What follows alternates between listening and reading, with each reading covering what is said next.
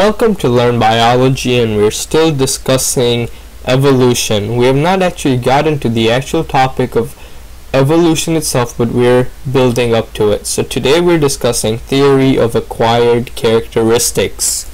So what exactly is this? Well it was a theory created by a French evolutionist scientist biologist whose name is Jean-Baptiste Lamarck and he created it he created this theory known as theory of acquired characteristics to explain how parents have an impact on offspring to explain how some traits are passed on from parents to offspring.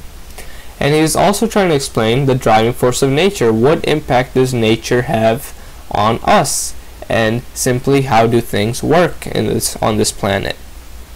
So he created this theory of acquired characteristics and it is also known as Lamarckism because of his name Lamarck.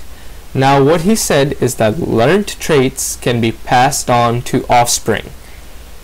Mm, if a trait is used a lot then it is passed on. So before we go on, what is a trait? Well a trait is simply a feature. A feature a trait is a feature in the parent, meaning uh, something good or bad. If a parent is fat, that is a trait. So he's saying that fatness would be a trait. Or if a person is a good athlete, that is a trait. It is a feature in a person. And what he is saying simply is that here we have a giraffe. So he's saying that the first giraffes, the ancestors of this giraffe here, had short necks.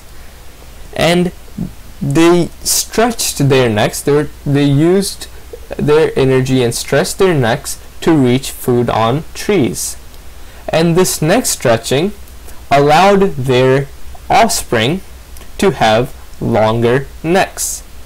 And now the constant stretching over the generations. So the constant stretching of the neck over the generations allowed the current giraffes to have really long necks. And what this is saying that the necks will continue to grow. So gradually the neck grew longer and will continue to grow longer because this trait is used.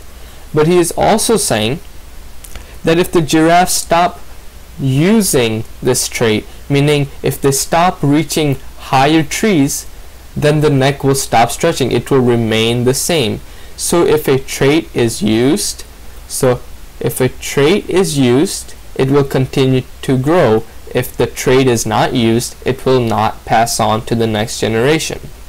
What this means also is that here we have a violinist, a good violin player now if this person has a child, the child will have the natural ability to be a good violinist.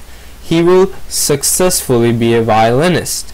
But if this child decides to not be a violinist, decides not to be a violinist, his child, so his child will lose, child will lose the trait. The trait. So here we have the parent. Then we have the child who is a who will be a natural violinist. But if he doesn't practice his violinist skills then the child of the grandchild of the parent simply will lose the trait. Now over the years this has caused a lot of controversy because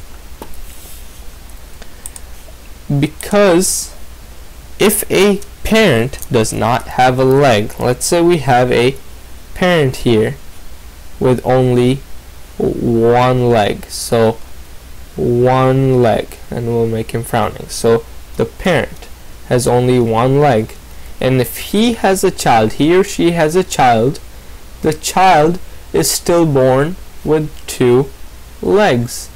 How come? Lamarckism says that the child should be born with only one leg since traits are acquired and are passed on. So many schools throughout the world teach that this theory is not true. This theory is not true. But we cannot fully say that is not true because research is still being conducted to prove this theory, to say whether it is right or wrong. So we honestly cannot disprove it yet because we have no way to say it's wrong. Because it makes sense that giraffes have longer necks because it slowly became bigger. But it doesn't make sense because a child a parent whose leg is amputated will have a child with two legs. So this is again the theory of acquired characteristics and it's up to the individual to decide whether this is true or not.